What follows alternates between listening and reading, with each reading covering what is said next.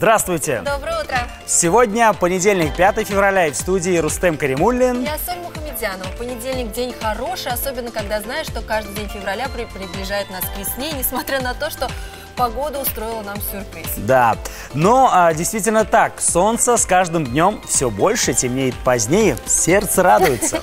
Как всегда, сегодня нас ждет много интересного, оставайтесь с нами. Как найти силы, чтобы бороться с тяжелой болезнью? Приятного аппетита! Готовим идеальные сырники. Атит. Чем опасно воспаление уха? Мы начинаем нашу программу с очень полезного сюжета. Тема серьезная, но не говорить об этом нельзя. Вчера во всем мире отмечался День бор борьбы против рака. Эта дата провозглашена Международным союзом по борьбе с онкологическими заболеваниями. И цель этого дня – привлечение внимания людей к предотвращению, выявлению, лечению этого заболевания. На эту тему и первый сюжет.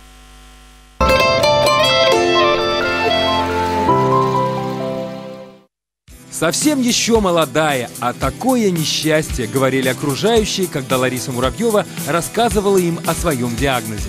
Он звучал как приговор – рак. Но женщина не падала духом и точно знала – она выздоровеет. Обратилась когда врачам, пришлось прооперироваться. Ну и вердикт медиков, соответственно, что не ходить и так далее нормально до конца по-человечески я не буду, в общем-то, и это на всю жизнь. Ради исцеления женщина начала прислушиваться к себе, к своим интересам и изменилась до неузнаваемости. Она решила жить полной насыщенной жизнью. Развод был только началом. В какой-то момент стало понятно, что ей нравится помогать людям и самой себе. Шутка ли? Ежедневно обливаться холодной водой в 6 утра. Сейчас я для себя определила некий распорядок дня, которому придерживаюсь теперь всю жизнь. Я перешла на вегетарианское э, питание, начала заниматься конкретно уже вплотную. Если раньше только иногда делала зарядку, сейчас каждое утро после обливания делаю цигун, медитация, настройки на состояние такое рабочее, энергетическое. В 42 года она поступила в медицинский университет и с отличием его закончила – Главное, считает она, позитивное мышление, физические упражнения и активная жизнь. Ей интересно все, от энергетически заряженной воды до народных кукол. Но не все больные, к сожалению, так оптимистично настроены. А между тем, современная медицина способна успешно лечить самые серьезные состояния. Главное – вовремя начать лечение, мы говорим вам здравствуйте. У нас в студии Рустем Хасанов, директор Казанской государственной медицинской академии, член-корреспондент РАН, главный онколог Республики Татарстан. Доброе утро, здравствуйте. Доброе утро. Здравствуйте. Всем хорошего дня. Спасибо, спасибо вам. Ну, а мы начнем с наших вопросов.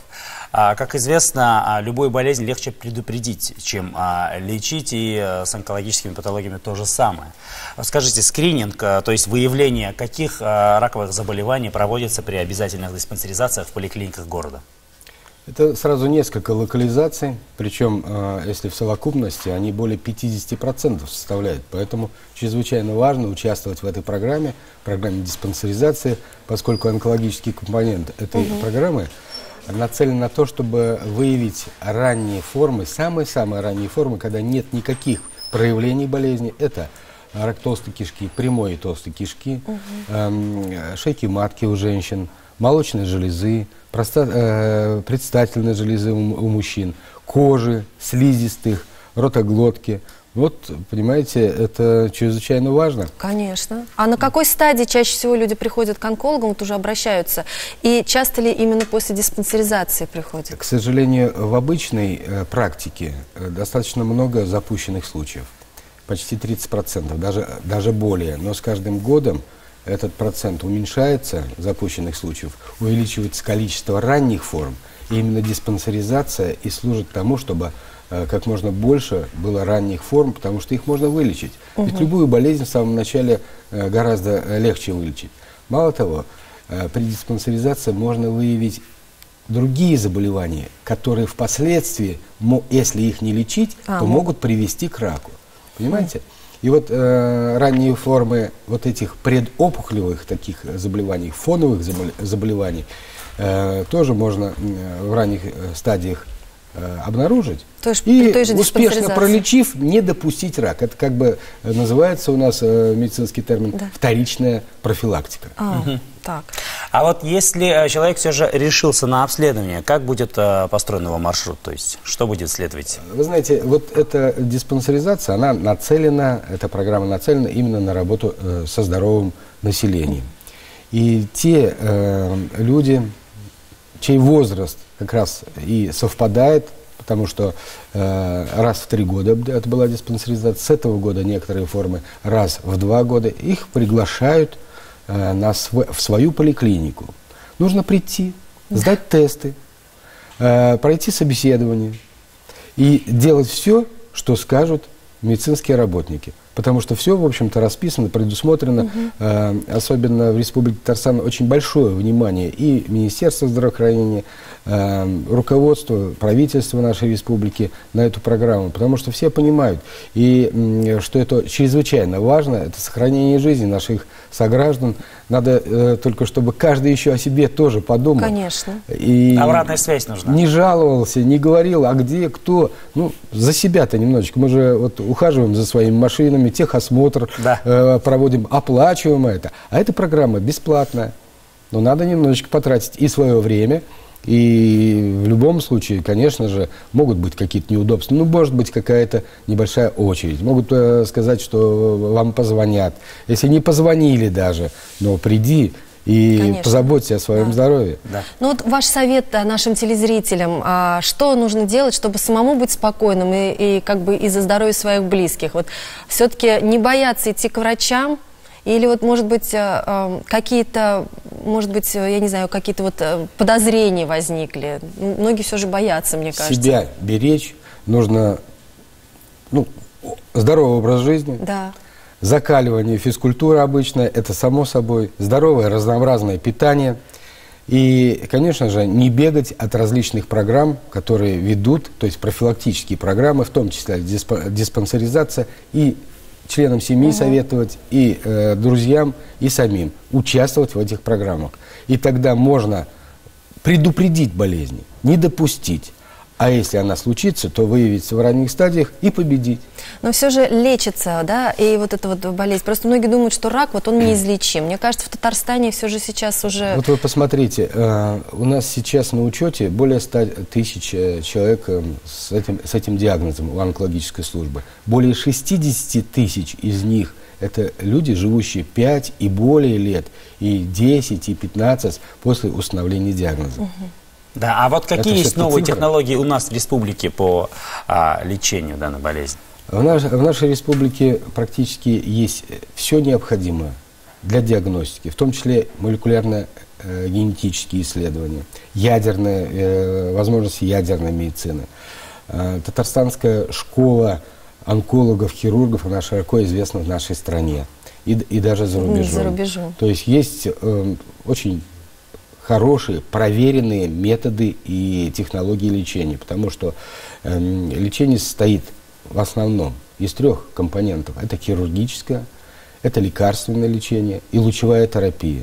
Лучевая терапия тоже, вот недавно по- появился по частному государственному партнерству в Республиканском онкологическом диспансере аппарат томото- э, томотерапии, для томотерапии он называется. Это просто новые технологии лучевой терапии из, той же, из того же самого. Э, Поэтому сказать, что вот где-то за рубежом есть то, чего у нас нет, ну, я бы не стал, потому что и организация онкологической службы, и сами э, технологии диагностики и лечения, они на самом современном уров- уровне. И медикаментами все больше и больше обеспечиваются наши пациенты. Другой вопрос, что некоторые виды э, новейших лекарственных препаратов, они очень дороги. И ни в одной стране мира ими э, 100% э, не обеспечивает государство. Здесь надо как-то думать. Все индивидуально еще. Все индивидуально. И тем, тем, тем более персонализированная сегодня медицина. Ведь каждому пациенту нужно подбирать, собственно, нужное ему лечение. Да. Ну что ж, спасибо огромное за то, что вы делаете, за то, что спасаете жизни людей и даете надежду. И мы желаем всем нашим телезрителям здоровья, берегите себя и своих близких и не затягивайте, обращайтесь вовремя к специалистам.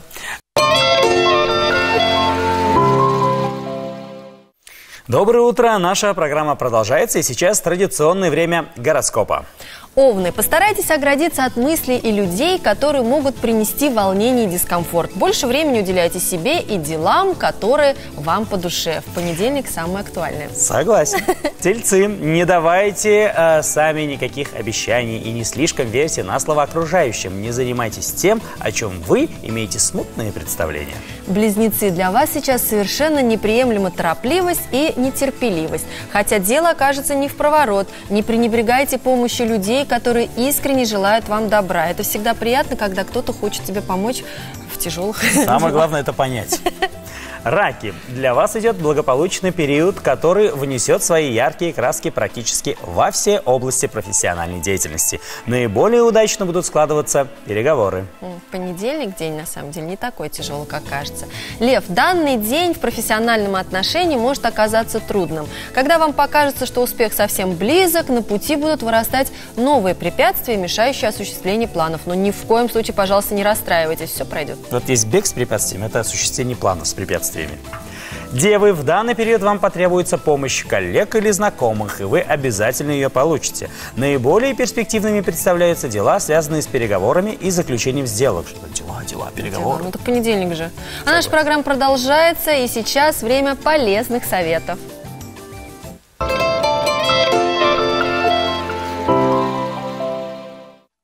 У вас стреляет в ухе? Кажется, будто в нем что-то есть? Появилась слабость и бессонница? Возможно, это отит. Причины у этой болезни самые разные. Переохлаждение, понижение иммунитета, какие-то хронические заболевания в полости носа, допустим, полипоз, а, аллергический какой-то, допустим, ринит, гайморит. Отит поражает и детей, и взрослых. Главный симптом – острые или ноющие боли в ушах. Правило одно – следует идти к врачу, если боль не прошла через два дня – не лечите отит самостоятельно, особенно с помощью народных средств. Идет воспалительный процесс а, слуховой трубы, барабанной перепонки, барабанной полости. А, там воспаляется а, слизистая оболочка этой всей барабанной полости. А, там и так получается такая влажная среда, поэтому особо промывать уши нельзя. А, нужно а, ну, назначать комфортное масло, можно покапать в теплом виде. Туда а, в виде турундочки можно поставить турундочку. Ну, какой-то теплый платок одеть. В нос покапать что-то, э, сосудосуживающие капельки. Консервативная терапия состоит в тщательном и систематическом удалении гноя из уха и применении дезинфицирующих вяжущих средств. При среднем отите может понадобиться небольшая операция. Профилактика заболевания проста. Не переохлаждайтесь, избегайте сквозняков, ешьте пищу, богатую витаминами, укрепляйте иммунитет и соблюдайте гигиену ушных раковин. Но не стоит чистить их ватными палочками. Можно занести инфекцию, можно какую-то травму.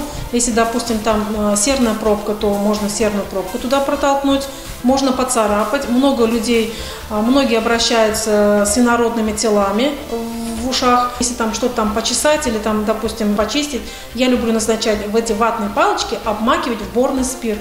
Обмакивайте и потом протирайте. Если же вы все-таки заболели, обязателен постельный режим и полный покой. А после излечения нужен специальный массаж уха, чтобы не дошло до тугоухости.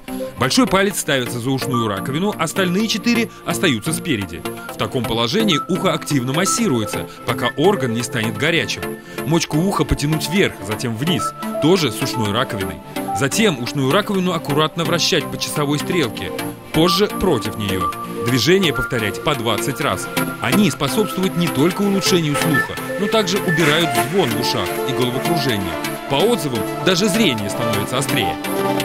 Мы надеемся, что вы приняли к сведению советы специалистов. Берегите, пожалуйста, ваши уши. Все-таки слух это важно. важно.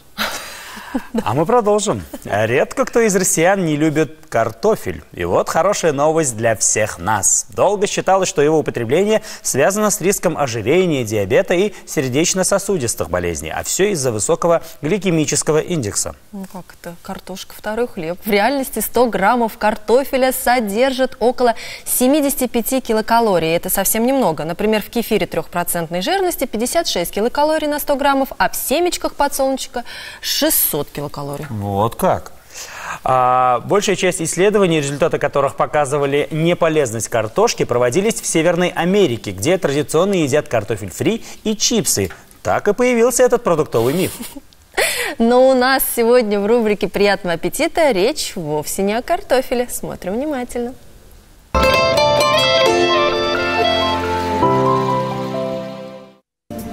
Для приготовления идеальных сырников возьмите 600 граммов творога, одно яйцо, по 5 столовых ложек муки и сахара.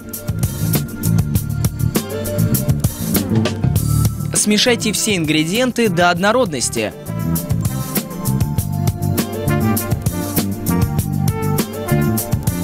Сформируйте небольшие лепешки, присыпая мукой.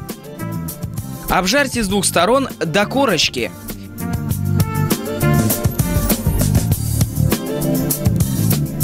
Приятного аппетита! Любимые э, блюда детства. Вот эти сырники с утра просыпаешься в воскресенье, и такой запах сырников. Бежишь скорее на кухню и знаешь, что мама уже с утра постаралась и напекла сырников тебе, и сидишь и кушаешь. Да, главное, это просто прекрасно. Главное не увлекаться особенно, особо этим. Да. Ну а сейчас наши маленькие эксперты готовы поговорить. Да, а вот о чем, смотрите сами.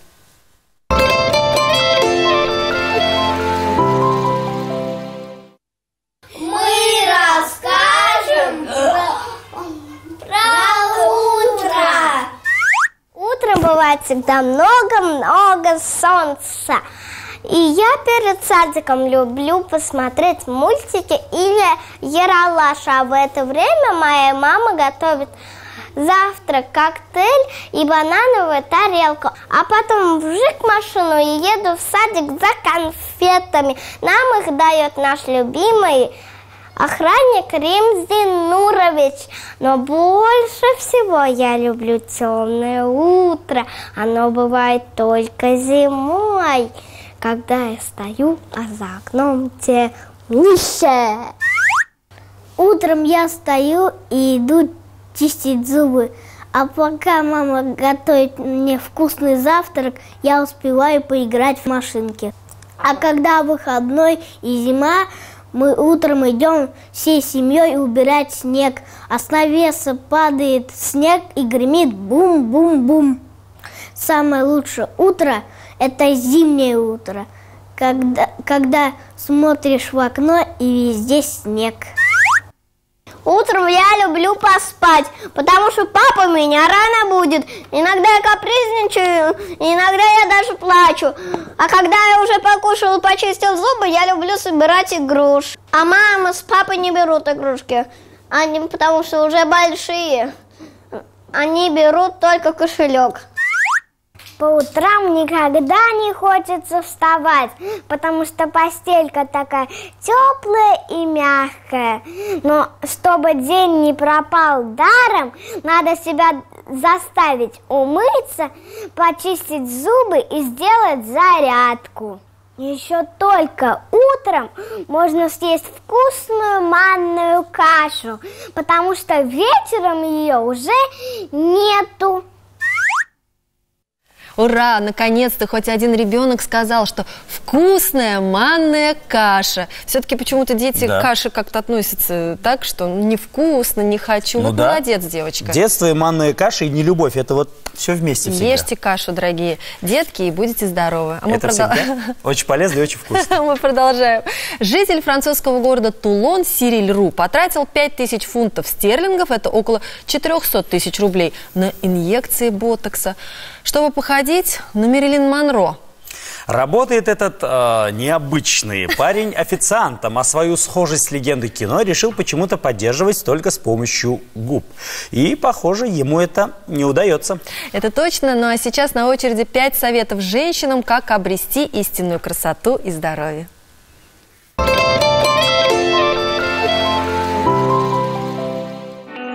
Наша жизнь – это ткань из привычек. Работая над формированием правильных привычек, можно существенно улучшить или даже кардинально изменить свою жизнь. Именно об этом мы расскажем в сегодняшнем видео. Сразу оговоримся, что цель этого ролика – мотивировать вас на работу над собой. Мы знаем, что не открываем Америку, говоря, что правильный режим дня и ранний подъем – это очень круто. Но именно с пробуждения начинается каждый новый день. И наличие у вас правильного режима сна – это залог не только здоровья и красоты, но и хорошего настроения. Не забывайте начинать свое утро с улыбки. Многочисленные исследования подтверждают, что выпитая натощак вода не только запускает метаболизм и оказывает укрепляющее действие на организм, но и помогает в лечении многих хронических заболеваний. Помните, что для формирования привычки нужен 21 день. Чтобы вам было проще научиться пить по утрам, советуем оставлять на прикроватной тумбочке или столике приготовленный стакан с водой, который будет первым, что вы увидите, проснувшись. Каждодневное проветривание дома – это необходимость. Чтобы не забывать это делать, возьмите себе за правило открывать окно сразу после пробуждения. Заряд бодрости обеспечен. Сколько всего написано и сказано о пользе утренней зарядки. Но процент людей, которые делают ее каждый день, по-прежнему очень мал. Уделите утром всего несколько минут упражнения, и вы увеличите поступление кислорода в организм, улучшите кровообращение и свою работоспособность. Включите себе любимую музыку, думайте о хорошем, научитесь получать от процесса удовольствие. Ведь психологи доказали, что эмоциональный фон очень сильно влияет на формирование привычки. Вытирать лицо одноразовыми салфетками вместо многоразового полотенца, на котором накапливается грязь и бактерии, еще одна полезная привычка. Особенно, если у вас проблемная кожа. Следующий наш совет для всех девушек. Нанося любое средство на лицо, будь то крем или пенка для умывания, делайте это не хаотично, а по массажным линиям. Схему можно найти в интернете. Очень скоро, делая это регулярно, вы заметите положительные изменения на своем лице. Бережно ухаживая за кожей лица, многие почему-то забывают, что шея и зона декольте требуют такого же внимания и тщательного ухода. Привычка постоянно очищать и увлажнять эти части тела поможет вам уберечь себя от сухости, морщин и дряблости. Следующая привычка поможет вам держать свое тело в тонусе без особых усилий. Все просто. Приседайте. В любую свободную минуту, когда чистите зубы, делаете уборку или готовите. Кроме приседаний, советуем делать планку. Все знают, что много пить очень полезно для здоровья и красоты. Но как научиться соблюдать питьевой режим? Вот наши советы. Пусть вода всегда будет у вас на виду. Выпивая очередной стакан, наполняйте его снова. Если простую воду вам пить сложно, добавляйте в нее мяту, лимон и другие фрукты. Помните о том, что приятные ассоциации помогают в формировании привычки. Пусть вода постоянно будет у вас под рукой, на рабочем столе, в сумке и в каждой комнате.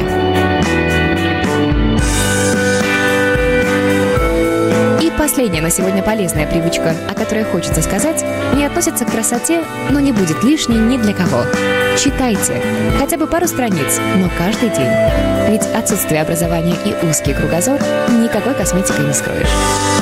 Работайте над собой и помните, что все только в ваших руках. До встречи в новых выпусках. Я ей завидую. Она сделала зарядку, попила воду с лимоном, почитала книжку и снова спать легла. Да, это идеальный Отпуск день. у человека. Идеальный понедельник. Как идеально провести отпуск. Но на самом деле так можно сложить и свой идеальный день. Это вставать пораньше, действительно делать зарядку и пить воду с лимоном. Это все очень полезно. Самое главное, не забывайте это делать. Ну а впереди афиша программ ТНВ на сегодняшний день. И, как всегда, будет много интересного. Ксюша оказывается один на один с проблемами. Спасибо. Я сегодня ненадолго, я уезжаю, попрощаться пришел. Куда? В Москву на юрфак поступать буду. А как же мы? Как ребенок? Ну, Ксюш, я приезжать буду. Но очередное происшествие дает ей надежду на лучшее. Жалобы есть? Сегодня вот здесь что-то странное началось. Так это малыш шевелиться начал. Как шевелиться? Вот так. Срок уже. Темные воды сегодня в 9.00.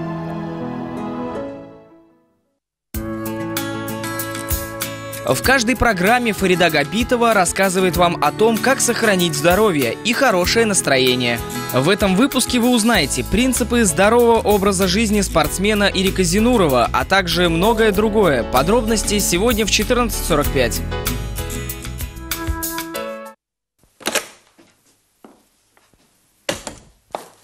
Мистер Кэтл?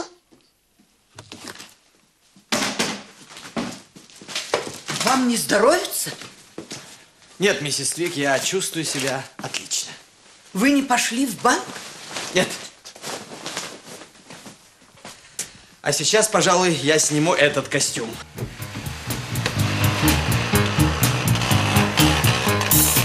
Этот фильм не часто показывают по телевидению. Между тем, он режиссерский дебют талантливого актера Юрия Соломина. Он же исполнил главную роль управляющего банком мистера Кэтла который в один прекрасный день решил начать жить заново. Скандальное происшествие в Брикмеле. Смотрите сегодня вечером на ТНВ. Очень э, сильный ветер, э, снег. В общем, сегодня все замело. И наш коллега Даниор Кинджаев, который всегда так нас радовал своей такой точной, с очень точными прогнозами, не смог выйти сегодня на связь. И вот почему. Ну, потому что сегодня синоптики нам обещают облачную погоду, порывистый ветер, метель, и вы наверняка уже все это увидели сами. И мы, мы, мы советуем по возможности оставаться сегодня дома, ну а всем тем, кто пойдет на работу, захватить с собой лопату, хотела бы я сказать. Сегодня ожидается по республике от минус 1 до минус 4, и, как я уже сказала, будет э, ветрено, и со всех сторон просто, я не знаю, метет. В общем, вот такая погода нас сегодня ожидает. Ух! Да, это будет э, весело, это будет интересно.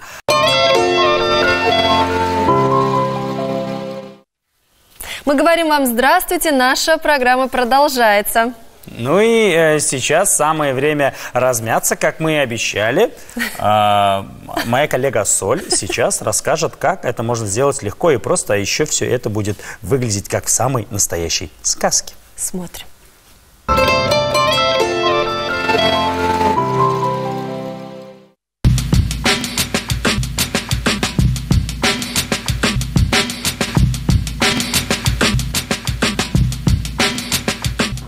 Привет, а что это вы делаете? О, привет, Асоль. Оп. Мы делаем сяяу, мостик. Я тоже хочу научиться делать мостик. Подожди, подожди, подожди. Для того, чтобы встать в мостик, нужно сделать подготовительные упражнения. Хорошо, я готова. Начинаем, как всегда, с разогрева. Растираем спиночку, чтобы стало горячо. Молодцы. Далее делаем Бабу-Ягу и Кощей Бессмертного. Сегодня мы будем говорить о русских народных сказках? Да, русские народные сказки в китайской гимнастике ушу. Сейчас ты узнаешь, почему Баба Яга и почему Кощей Бессмертный. Ноги ставим широко. Поясница вперед. Руки на пояснице, подбородок прижат. Баба Яга. Делаем счет. Один, два, три, четыре. Кощей Бессмертный. Голову запрокидываем и смеемся. Повторяем. Один, два, три, четыре. Кощей Бессмертный. И последний раз. Один, два, три, четыре. Кощей Бессмертный. Выполняя это упражнение, через 2-3 месяца ты обязательно сможешь сделать сяял из положения стоя. Занимайтесь вместе с нами, занимайтесь с детьми. Всего доброго! Будьте здоровы!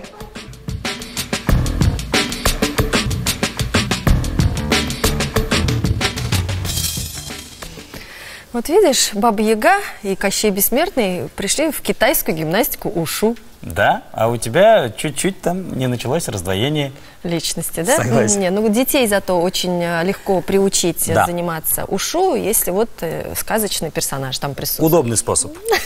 Многие из нас склонны держать в голове несколько текущих задач. Купить молока, перезвонить маме, погладить блузку, внести квартплату и так далее. Главное, что этот постоянно пополняемый список в голове не всегда выполняется.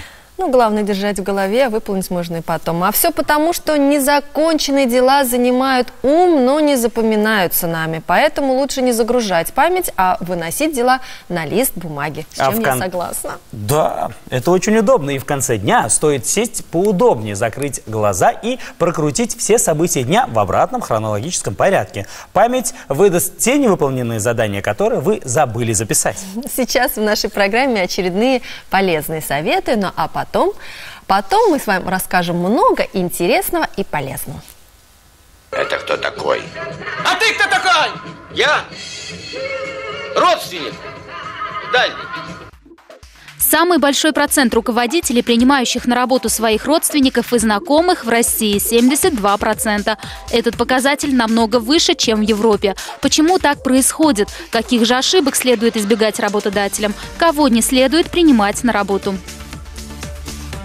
Как ни странно, в такой группе можно отнести квалифицированных достаточно специалистов. Когда человек с легкостью справляется с поставленными задачами, его ничто не развивает, не, он не учится новому, он не растет ни карьерно, ни в финансовом плане.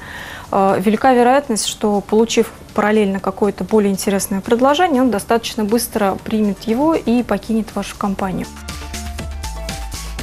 Если вы принимаете на работу родственника, будьте готовы к тому, что ваши отношения могут испортиться. Родственник он вам или нет, на работе он подчиненный и должен вести себя соответственно правилам фирмы. Родственники, как правило, переносят на работу семейные отношения. Рано или поздно это вызовет серьезный конфликт. Если мы смотрим на наши компании, их объединяет не только задачи, которые они выполняют а, в своем сегменте рынка, но и некий дух, некая атмосфера, некая корпоративная культура, как это вот у специалистов по персоналу называется. И человек, который приходит в компанию, уже сложившуюся до него, он должен попадать в нее вот и по тому самому духу. Старайтесь не принимать на работу друга. Работа с ним, как с подчиненным, может превратиться для вас в сплошной кошмар. Друзья требуют к себе особенного отношения и дополнительного внимания. Они могут вообразить, что общие правила не для них. Разнообразных недоразумений вам не избежать, а в результате ваша дружба может оказаться под угрозой.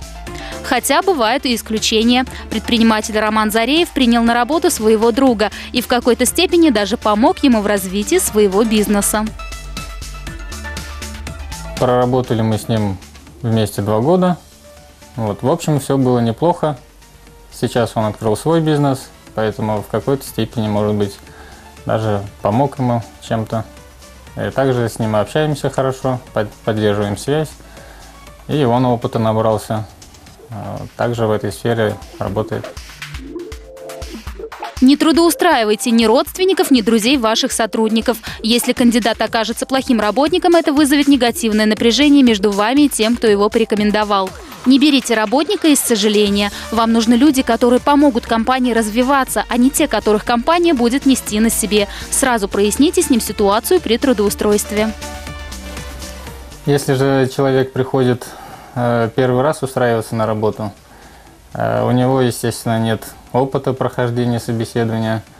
Вот он э, немножко может теряться, волноваться, но на это не, не стоит так сильно обращать внимание. То есть он может раскрыться в дальнейшем. Для того, чтобы выбрать достойного сотрудника, нужно время. Пообщайтесь со всеми претендентами, возьмите тайм-аут, подумайте над их слабыми и сильными сторонами с учетом будущей должности, а затем принимайте окончательное решение. Действительно, очень а, полезные советы и, и правильно подобрать а, работника очень сложно. И вот все эти тонкости, если соблюсти, то можно действительно построить очень хороший бизнес, который будет работать и процветать. И неправда, когда говорят, что с друзьями вместе работать нельзя. Все зависит от людей. И если вы действительно друзья, то ничего не сможет а, помешать вашей, ничто не сможет помешать вашей дружбе. Но не будем забывать, что дружба, основанная на бизнесе, намного лучше, чем бизнес, основанный на дружбе. Да, правильно. А мы, вы продолжаете смотреть программу «Здравствуйте», и а, мы продолжим говорить о здоровье. Как настроить себя на выздоровление? Вы узнаете из следующего сюжета. Есть такая шутка. Если больной очень хочет выздороветь, то медицина бессильна. Если же говорить серьезно, то и сами доктора утверждают, что позитивный настрой пациента, желание жить, его вера в себя и в лечащего врача может творить чудеса. Между психикой и телом существуют какие-то координации и, соответственно, связи, по которым одна инстанция может влиять на другую. Психика может влиять на тело, тело может влиять на психику – и каждое влияние может быть и саногенным, то есть оздоравливающим, или патогенным, то есть вызывать болезни. Если вот у человека вот есть э, такая сильная воля к жизни, создается стойкое мотивационное состояние, раз уж мы говорим о состояниях, которое начинает вообще-то оздоравливать человека, он начинает психологически бороться с своей болезнью. Существуют проверенные методики, которые помогают человеку разбудить свои внутренние ресурсы и направить их на выздоровление. Ведь наш организм – это система, и одна из ее основных задач – поддерживать свое благополучие и работоспособность. Болезнь – это сбой в системе. Поскольку ваша воля главная, то иммунная система слушается. Это ошибка иммунной системы, аллергия. Она может ошибаться двумя способами. Она может не работать там, где надо, и возникает онкология. Организм не видит свою болезнь. Но вот если вот этим методом науськать, так сказать, иммунную систему на онкологию, то она спохватывается, начинает атаковать, и это очень мощная атака. У нас она специализирована. Основная функция иммунной системы, если вы не знаете, это уничтожение опухолей. А уже потом микробов и вирусов. Мы засвечиваем опухоль для иммунной системы, она ее атакует. В западных странах для пациентов с серьезными заболеваниями проводят специальные семинары, где их пошагово обучают методикам работы с собственным организмом. В нашей стране задача заболевшего человека проявить максимальную активность в своем стремлении выздороветь. Одним из эффективных шагов, наряду с обращением к лечащему врачу, станет поиск медицинского психолога либо психотерапевта. Вы представляете себе, например, себя, реагирующую на аллерген. Вот это ваше представление.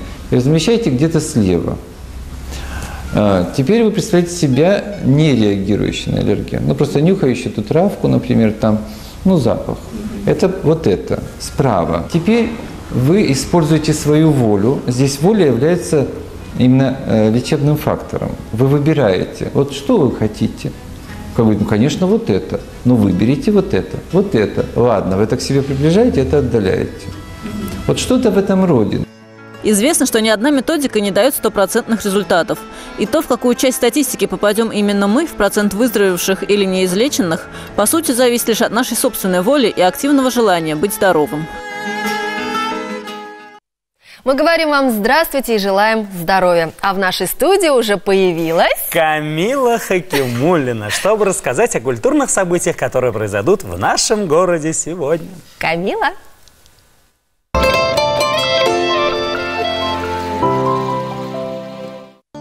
Привет! Сегодня 5 февраля и с вами Камила Хакимулина. Начинаем новую неделю с легких и увлекательных выставок. Внимание к сюжетам! Бесплатная выставка «Татарская слобода». На выставке представлено 20 картин, выполненных в жанрах городского пейзажа, портрета, натюрморта. Вы увидите старые районы города, татарскую слободу, образы типичных казанцев. Все работы Алины Замиловой наполнены добротой, светом и любовью. Индийская выставка «Ярмарка». У казанцев есть уникальная возможность окунуться в атмосферу восточной культуры, почувствовать ароматы специй, ощутить нежность шелка и настоящий индийский колорит вы сможете на выставке продажи индийских товаров. Чай, косметика, текстиль, изысканные украшения из натуральных камней, изящная резная мебель, аксессуары для дома, сувениры ждут вас – не пропустите эти великолепные выставки. И напомню вам, что они абсолютно бесплатны. Но это еще не все. Советую посетить еще одно интересное мероприятие. Смотрим.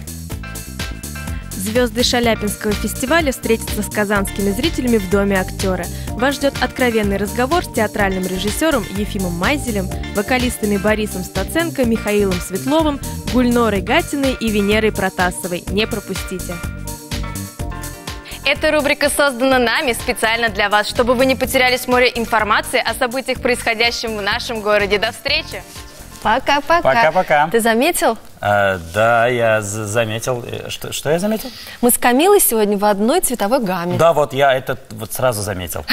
Спасибо, Камила. Ну а мы продолжаем нашу программу. И сейчас вот что вы увидите сегодня на нашем канале.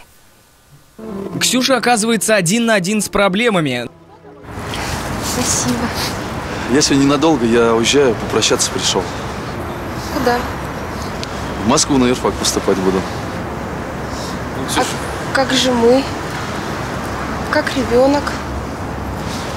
Ну, Ксюш, я приезжать буду. Но очередное происшествие дает ей надежду на лучшее. Жалобы есть? Сегодня вот здесь что-то странное началось. Так это малыш шевелиться начал. Как шевелиться? Вот так. Срок уже. Темные воды сегодня в 9.00.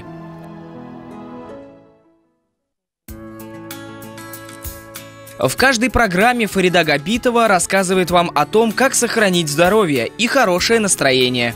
В этом выпуске вы узнаете принципы здорового образа жизни спортсмена Ирика Зинурова, а также многое другое. Подробности сегодня в 14.45.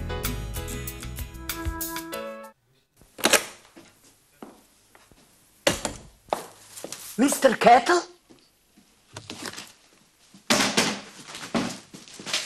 Вам не здоровится? Нет, миссис Твик, я чувствую себя отлично. Вы не пошли в банк? Нет.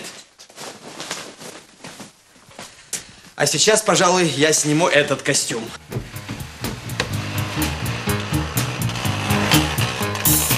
Этот фильм не часто показывают по телевидению. Между тем, он режиссерский дебют талантливого актера Юрия Соломина. Он же исполнил главную роль управляющего банком мистера Кэтла который в один прекрасный день решил начать жить заново. Скандальное происшествие в Брикмеле. Смотрите сегодня вечером на ТНВ. Как всегда на нашем канале много разнообразных программ, и наверняка вы что-то нашли себе по вкусу и обязательно сегодня посмотрите. Ну а сейчас у нас продолжение астропрогноза. Весы. Сейчас ваш энергетический потенциал не слишком высок. Старайтесь правильно питаться, высыпайтесь и больше времени проводите на свежем воздухе или же в компании приятных людей, если погода не позволяет. Скорпионы, не перекладывайте свои обязанности на чужие плечи, так как сейчас с возникшими вопросами вряд ли кто-то сумеет справиться лучше, чем вы сами. Новые любовные увлечения пойдут вам на пользу. Кому они еще во вред пошли? Согласен. Стрельцы, сейчас вам может прийти мысль, что если немного схитрить со своим начальством, то у вас появятся какие-либо привилегии. Но не стоит обольщаться на этот счет. Понял? Понял. Не обольщайся. Козероги, не имейте дел с людьми, которые придут с предложениями заработать нечестным путем. Авантюрные мероприятия принесут вам результат абсолютно противоположный ожидаемому. Хм. Водолея, сегодня может стать немало вопросов относительно работы, с которыми придется справляться в одиночку. Не горячитесь и не принимайте поспешных решений. Рыбы, у вас будет получаться буквально все, за что не возьметесь. Вы будете очень этим довольны, и ваше хорошее настроение передастся окружающим. Если планируете пройтись по магазинам, то либо не берите с собой крупных сумм, либо возьмите человека, который сумеет удержать вас от нерациональной траты средств. А лучше взять все же этого человека. Наша программа на этом завершается, но завтра мы расскажем вам много интересного и полезного. Вот что именно.